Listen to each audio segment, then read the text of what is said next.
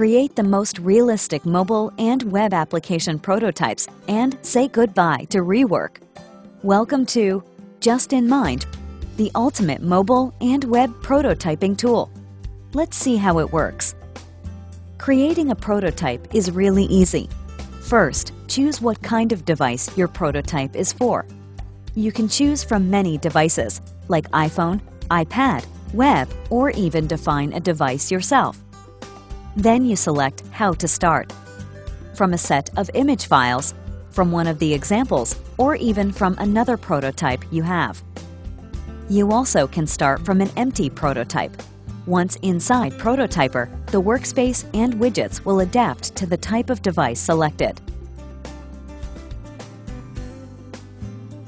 Once you have some screens and interactions, it's time to simulate what you've done.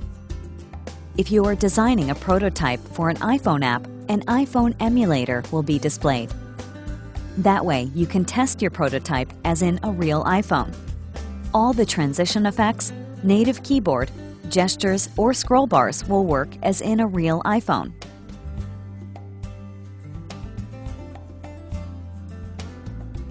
You can even simulate your prototype in a real mobile device, like an iPad for instance.